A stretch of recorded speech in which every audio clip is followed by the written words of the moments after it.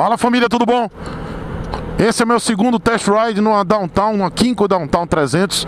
Mas antes de tudo, eu quero deixar um meu agradecimento a KM Motoshop e a Racetech. Olha galera, Racetech que me presentearam com uma jaqueta incrível que vocês estão vendo aí na imagem. É uma jaqueta que é uma jaqueta casual, tá? E galera, parece que você está usando moletom. É muito legal, muito confortável, mais leve, mas incrivelmente protegida, porque ela tem proteções nos ombros, no cotovelo, nas costas. É uma jaqueta convencional, tá? Com proteções. Mas é impressionante a, o estilo dessa jaqueta. Ela ainda vem com um capuz. Parece um moletom, galera. Parece um moletom mesmo, muito bonita. Dá pra você usar normal, não é como se fosse um moletom. E é muito leve também. Então um beijo pra Racetech. Gostei, hein? Tá aprovado. KM também, muito obrigado pelo presente. Obrigado, Racetech. Pode mandar mais aí que a gente testa. E eu vou continuar testando essa jaqueta, tá, pessoal? E vou continuar dando meu feedback. Vocês viram aí a imagem, a jaqueta é linda, muito confortável, tá? Bom, vamos lá. Esse aqui é meu segundo test ride nessa Downtown, na, nesse modelo Downtown da Kinko. E agora com um senso mais apurado, porque eu fiz o, o test ride com a Citycon. Né? Então, é bem na, eu tô na, na, mesma semana que eu fiz o test ride com a Citycon, né, que eu gravei o test ride, eu estou fazendo com a Downtown. Essa moto cedida gentilmente pela Guimarães Motos. Muito obrigado, Guimarães. Obrigado, Jura. Obrigado, Cíntia. Bom, pessoal, vamos à ficha técnica. Uma ficha técnica bem superficial. Essa moto tem 298 centímetros cúbicos de cilindrada, cavalaria de 29.7 a 8.000 RPM, torque de 3 kg a 6.250 RPM. Ela pesa impressionante 180 kg, peso cheio, o mesmo peso da Citicon. Eu disse que a Citicon era 10 kg mais leve. Não, eu me enganei, errei feio, errei rude. Não, galera, é o mesmo peso da Downtown. Elas têm o mesmo peso, então falei bobagem, tá? Desconsiderem quando eu disse que a Downtown é 10 quilos mais pesada. Errei, errei feio, errei rude. Então ela tem o mesmo peso da Citicon, impressionante, 180 quilos, porque na minha impressão ela era mais pesada. Não, é o mesmo peso. Roda dianteira com é, aro 14, na traseira aro 13. Daí a minha impressão dela ser mais baixinha, realmente. Ela é mais baixinha que a Citicon. Tanque de 12 litros e meio, tá? Não foi informado qual a quantidade da reserva. Acredito que deve ser uns 2 litros na reserva, 10 litros no tanque. 2 litros a mais que a Citicon. E aí vamos às minhas impressões, tá? Já rodei, já rodei com garupa, a Santinha já deu a opinião dela. Vamos lá. Eu achei essa moto aqui, vocês estão vendo agora, trânsito bem pesado. É bem pesado mesmo. Eu estou conseguindo passar entre os carros, mas ela é muito mais gordona do que a, a Citicon, mas muito mais. Daí também gera aquela impressão de que ela é mais pesada, mas não é, tá, galera? É uma impressão, eu tive uma impressão muito errada mas ela é mais larga. A Downtown é mais, bem mais larga. A plataforma dela é mais larga. Essa plataforma aqui que vocês estão vendo, ela é mais larga. Inclusive para colocar a perna no chão tem que abrir mais as, o pé no chão tem que colocar abrir mais as pernas. E para passar entre os carros você tem que passar com mais cuidado, porque ela é mais larga. A Citicon é mais estreita. E daí a vantagem da Citicon no trânsito. A questão do tamanho da Downtown, realmente você se acostuma. Ela tem uma ciclística muito gostosa, muito fácil. E eu acho que o, ápice, o ponto, o ponto principal da Downtown é o conforto. O banco dela é muito mais confortável que o banco da Citicon, mas muito mais, muito mais. O banco do piloto, a parte do piloto é, é mais baixinha, então para os baixinhos terem até facilidade de colocar o pé no chão. A Downtown é bem interessante. A Citicon já é uma moto mais alta. As rodas da Citicon é aro 16. Então realmente a Citicon é mais alta. Essa aqui é mais baixinha. E o banco ela tem uma ele tem um encaixe que você fica mais baixo mesmo. do que, por exemplo, o Carona. O Carona fica mais alto e Santinha aprovou o banco a parte do Carona. Tá? Outra coisa que eu achei um ponto positivo é a são as plataformas para colocar o pé, tanto do, do piloto quanto do Carona. Não existe plataforma, não existe pedaleiras retráteis para o carona, então é, faz parte da plataforma, do piso, então não tem nada de retrátil. Isso é bom porque é menos peça, é menos problema. Santinha gostou, ela aprovou. Eu gostei também, as plataformas são mais. Ela tem mais espaço de plataforma do que a Citicom, mas ela continua não sendo tão confortável. Para colocar o pé aqui, eu fico com a perna, o pé, a perna dobrada, ó, tá vendo? Então não adianta também muito. É uma moto para para asiático. É uma moto para asiáticos. É uma moto bem bem curtinha. Ela é estreita e curta. Então ela não tem uma, um local para você esticar a perna, como por exemplo a N-Max. Outra coisa que também é muito, muito bonito nessa moto é o painel. Ele não é tão funcional assim porque ele fica numa posição. Essa caixa, essa capa do guidão, ela atrapalha a visibilidade. Tá? Você fica um pouco mais para trás, então ela acaba tirando um pouco da visibilidade do painel. Você não tem uma visibilidade 100%. Eu digo que você tem uma visibilidade de 90%. Tá? Pelo menos da parte do, do lado de cá é o velocímetro, lá é o RPM. Muito bonito painel, iluminado à noite, uma cor âmbar, muito bonito mesmo. No centro você tem aí é, temperatura do motor, pro lado de cá, esse marcador que está no meio. Pro outro lado, combustível, hora, odômetro é, total. Você tem o trip A, trip B mais um trip lá. É, achei estranha a forma de zerar, forma, você tem que apertar os dois botões. Eu não achei muito prático isso, tá? Na hora de você passar o trip, passar essas informações, eu achei muito pouco prático. Você tem que pressionar o botão. Eu achei um negócio meio, meio estranho para para ser uma coisa mais prática, né? Você tem que apertar o botão e passou. Eu não sei se o poder, o problema é desse desse dessa escuta específico ou se é do do modelo, tá? Deixa eu deixar o cara passar aqui. Eu tô com um scooter maior, vou deixar a galera passar para não atrapalhar. E esse painel realmente é muito bonito, muito bonito mesmo. Eu só achei que ele fica muito para baixo. Você tem que olhar para baixo para ter a leitura perfeita. Enquanto a sitcom, e aí eu estou fazendo um comparativo, tá pessoal? A sitcom você tem aí uma visão mais para frente. Agora, realmente o painel da sitcom deixa muito a desejar. Não é tão bonito quanto esse, não é tão legível de, de, em relação a tamanho. Esse aqui é muito maior do que o da sitcom. A minha única queixa é que essa capa ela, a, a, acaba atrapalhando um pouco a visibilidade. Outra coisa positiva dessa moto, freio ABS em relação à minha Citicon, tá? A minha é CBS, mas já tem versão, a, a versão ABS da Citicon, tá? Essa aqui é, é, de série, a Downtown de série é ABS nos dois canais, nas duas rodas. Freio ABS muito bom, muito, muito bom, galera. Freio ABS é show de bola. Você percebe nitidamente a diferença de um freio ABS, de um freio CBS. É, é muito diferente. Regulagem na manete de freio, tá? Coisa de primeira mesmo. O acabamento dessa moto é de primeira, pessoal. Muito superior ao acabamento da Citicom. É muito superior, tá? Em relação ao acabamento e conforto, a Downtown dá banho na Citicom, dá banho. Além de ser uma moto muito bonita, na frente ela tem é, uns LEDs na frente, além do farol normal. Mas ela tem umas luzes em LED, como se fosse uma luz diurna. Agora vamos falar da performance dessa moto. Eu particularmente achei ela mais lenta. Ela, ela não acorda tão rápido, ela não é tão esperta quanto a Citicom. E ela roda num giro muito alto. Então muita gente acha, para que para que um, um, um, RPM numa, numa escuta se a moto é automática? Mas é claro que tem que ter um RPM. Para você ter noção da tua pegada, para você até economizar mais. Se você ficar é, enrolando muito cabo, você vai consumir mais. Então é interessante você saber a rotação do motor.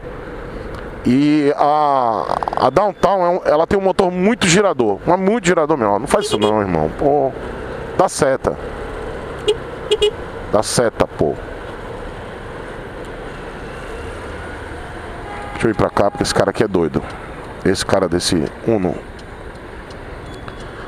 E aí eu tô sentindo aqui a dificuldade de passar num trânsito, porque realmente essa moto ela é muito gordinha. Não dá pra passar fácil. Não é tão simples assim. Bom, vamos lá. Voltando, motor girador. Bem girador mesmo. Consumo maior do que o da Citicon. Mesmo elas tendo o mesmo peso, essa aqui ela acaba tendo uma vantagem porque ela tem mais torque e mais cavalaria. 29.7 e 3 kg de torque. Pouco acima da, da Citicon, mas o motor dela gira muito mais. Isso me incomodou um pouco porque ela causa. É um motor que faz um pouco mais de barulho e, e ela demora um pouco mais de sair de saída, né? E para você alcançar uma certa velocidade, ela demora um pouco mais. Ela é mais lenta. Enquanto a Citicon, ela é mais, ela acorda mais cedo, é mais rápida e é mais esperta. Na com garupa, eu achei também ela mais lenta. Todos os movimentos mais lentos. Você tem que dosar acelerada principalmente quando você tira a moto da inércia para não consumir demais. Eu percebi que ela consome mais do que a, a minha Citicon. Mas galera, sinceramente, é, ela tem muitas vantagens que acabam anulando aí essa briga de qual é a melhor, tá? Isso vai depender, mesma coisa que eu fiz lá no Versus da, da Phaser contra a Twister. Eu não disse, olha, uma é melhor do que a outra, essa é melhor do que a outra. Deixa eu abrir aqui para o cara passar. Eu acabo atrapalhando o trânsito. Uma moto muito grande, muito larga. Obrigado. E assim, eu não vou dar um veredito dizendo, olha, essa é melhor do que essa. Não. O que, que vai dizer qual é a melhor para você? É, a tua, é, é o teu uso. É o teu perfil. Não adianta eu falar, olha, a Citicom é melhor, por isso que eu comprei. E eu nem disse isso, eu disse, olha, pro meu perfil, eu achei melhor a Citicom. Que é pro que eu quero. Mas sinceramente ela tem que a Citicom não tem. Por exemplo, se você quer viajar ou pega uma parte de rodovia, aí tem uma coisa que é muito melhor nessa moto do que a Citicom. Eu vou voltar lá para a parte da rodovia. Suspensões essa, essa, esse jogo, o kit de suspensões dessa moto, dianteiro e traseiro, muito superior da Citicon.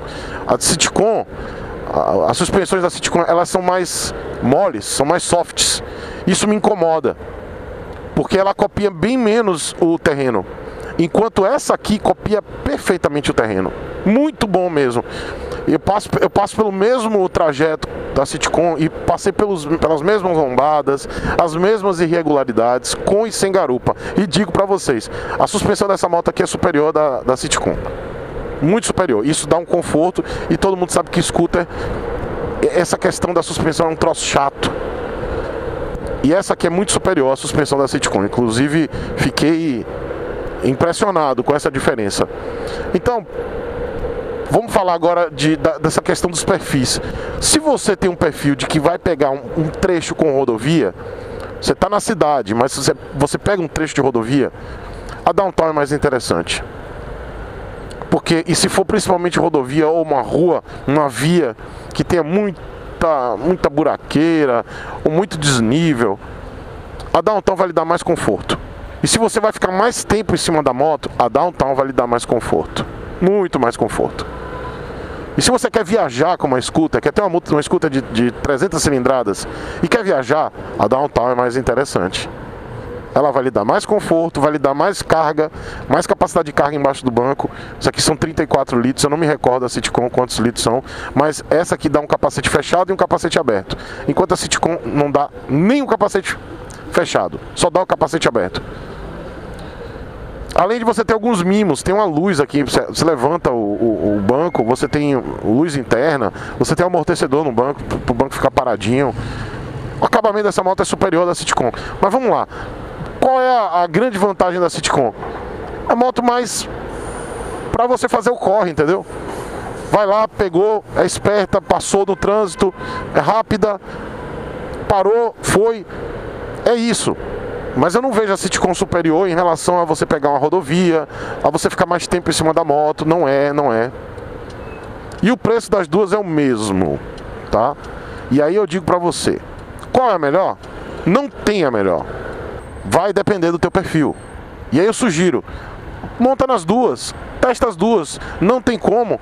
Veja essa análise que eu estou fazendo. Se você passa mais tempo em cima da moto, se você vai pegar um trecho maior de rodovia, se você vai pegar uma parte que tem mais buraco, mais um terreno mais irregular, aí eu não tô falando, eu tô falando piso irregular, tá? Asfalto. Moto não foi feita para ficar no, no, no estrada de terra, né? Scooter não foi feita para isso. É feita para uso urbano, para asfalto. Essa aqui é mais interessante. Copia melhor o terreno, copia melhor o piso, as suspensões. Eu acho ela peca pela, pela altura ela é mais baixinha. A questão das rodas 14 e 13 me dá um pouco mais de medo, porque são rodas pequenas, né? Enquanto a Citicon tem roda 16. É mais alta, é mais esperta. Essa aqui eu acho que o consumo dela é maior, tá? Porque o motor é mais girador. Ela grita mais, o motor dela roda mais. Enquanto na, na, na Citicon fica em torno de 3.000 RPM, aqui ela tá em 4. Quando vai pro garupa, ela sobe para 5. Isso me incomodou um pouco. Mas vamos falar de preço? E aí eu consegui para você, meu inscrito, de todo o Brasil, tá? Guimarães Motos vendendo esta moto aqui. E aí eu apertei, apertei os caras e eles estão na promoção. Presta atenção, promoção é só para o mês de agosto de 2019. 20 mil reais.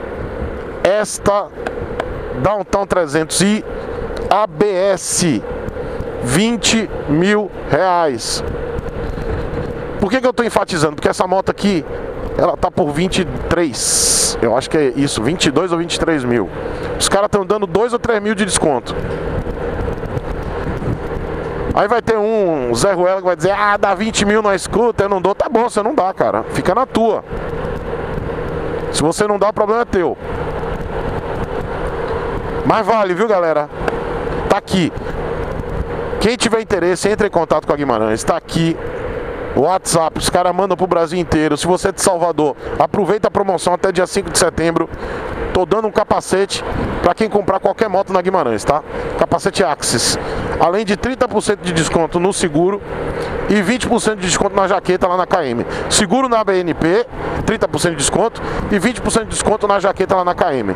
E eu dou para você, se você comprar essa moto aqui, na Guimarães, eu te dou o capacete Axis Eagle. Eu te dou. Agora tem que ser inscrito meu, tá? Não adianta ser novo inscrito. Tem que ser inscrito das antigas. Inscrito antigo. Não adianta ser recém-inscrito que eu não vou dar o capacete. Tipo, chegou lá na Guimarães, tá sabendo da promoção, se inscreve no meu canal. Não vai ganhar, tá? Porque eu tenho como ver. Isso aqui não é promoção para eu angariar inscritos, é promoção para presentear os meus inscritos. Tá bom? Essa moto aqui é excelente, é excepcional, muito confortável. Eu fiz um comparativo. Eu acho que algumas pessoas podem até se incomodar por eu ter falado tanto assim da Citicom.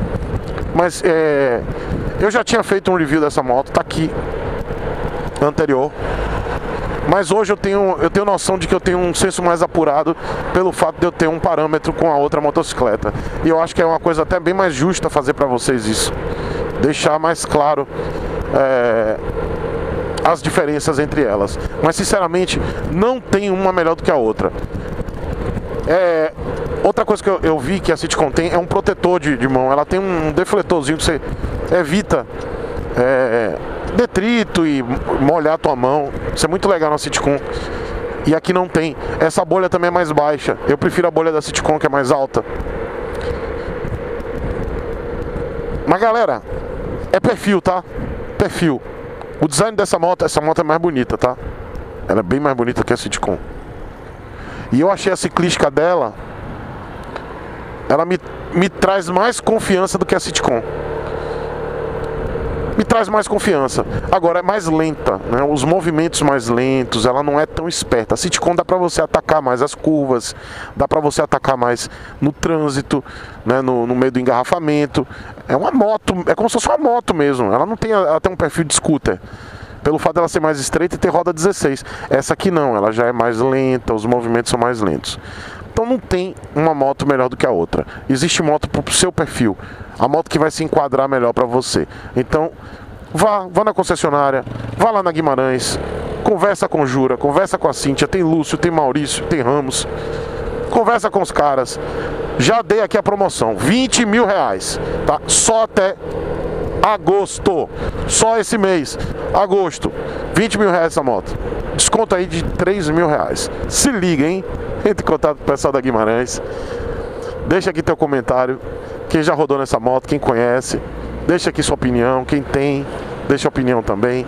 Quem tem uma outra escuta, tá afim de fazer a transição de uma escuta de 150 ou 160 para uma dessa aqui, deixa aqui o comentário, deixa sua pergunta tá? Deixa teu like. Não esquece de participar das rifas do canal www.chicosepulveda.com.br E é isso aí. Um beijo para vocês. Aproveita a promoção, tá? Tanto do capacete quanto da, das motos lá na Guimarães e dessa moto, 20 mil reais, tá? É a mais barata da concorrência, hein? Do que a concorrência. Se liga! Um beijo e até amanhã, valeu!